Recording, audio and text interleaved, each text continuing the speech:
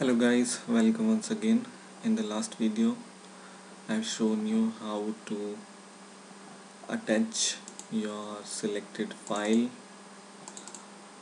and save it by this button and how to open that file by clicking here in the table.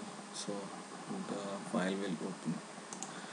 Today I will show you how to attach the folder instead of file and open that folder instead of file. For example you want to open the folder in which the file is present.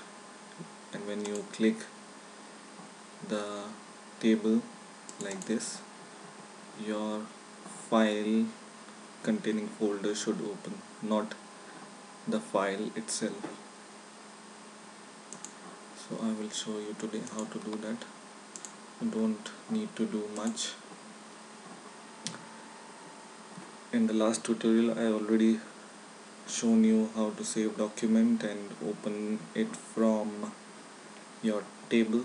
So what you have to do just right click your attach button and go to its action performed method. So this code I have shown you in the 49th video how to use JFileChooser. So if you don't know this code go to go and see the video number 49 so now what you have to do in order to open your directory instead of your file you go to the third line in which file f is equal to chooser dot get selected file. You need to change it a little. Just delete get selected file and after chooser dot and you have to select get current directory. Just this you have to add it in your code which I have shown in the 49th video.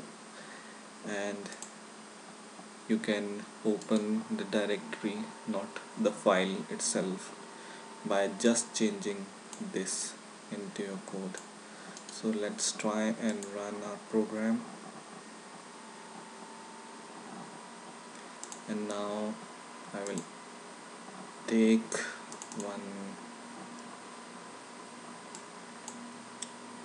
folder for example this folder and this and I will select any of document it doesn't matter. So I want to open the folder in which that file is present and I will name it as folder 1 for example and this is my document number 3 and I save it document is saved and you can see tree folder 1 and its path. And when you click here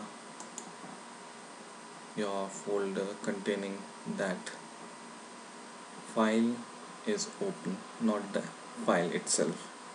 So in this way you can open the directory in which your file is present. And I hope you have learned from this something and please rate comment and subscribe. And bye for now